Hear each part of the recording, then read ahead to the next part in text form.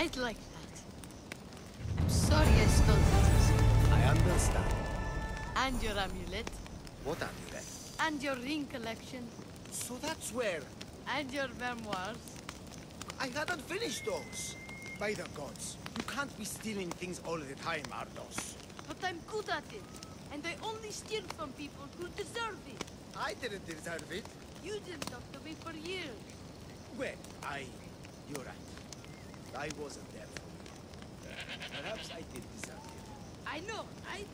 Not to mention all the gold. What?